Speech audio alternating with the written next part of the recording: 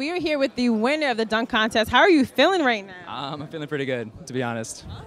So we all noticed you are the actually the shortest on the court. How does it feel to get up there and win over all these people that are towering over all of us? Yeah, yeah, it's pretty intimidating. Um, I'm the shortest guy in the room right now, not just the shortest person in the dunk contest. Um, but it makes it that much more challenging and way more fun. And twice as nerve wracking, obviously, warming up out there, but I knew I can get it done because I practiced my routine and I just did what I knew I could. Yes, it was an awesome move. I mean, you had several amazing dunks. I was out there judging. What do you want to say to other people that may be on the shorter side of dunking? They want to, want that encouragement to keep dunking.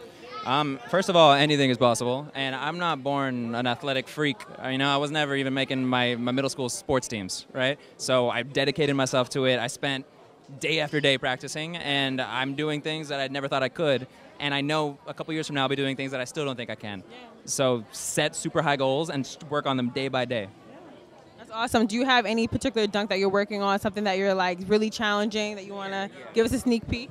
Um, so a dunk I was thinking about potentially breaking out today. I did a couple dunks over people, okay. and then you saw that last dunk, uh, be rough, going for between the legs over someone. Yeah that and he missed it at the end, which is what gave me the win when I made mine. That dunk is a dunk I'm trying to make consistent. I've made it, but I didn't feel comfortable breaking it out in the contest yet. So I'm trying to make that consistent, and I'll break it out at things like this.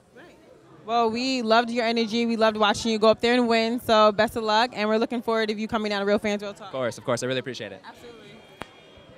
What's good? It's your boy Daylight. You're now tuned in with RealFansRealTalk.com. Bye, y'all.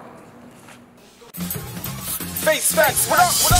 RealFansRealTalk.com. Where Arthur Diamonds, Trip Young, and intern Tom. For the white and black fans, Asia to Manhattan. I get all my facts from my bro Mark the Stats Man.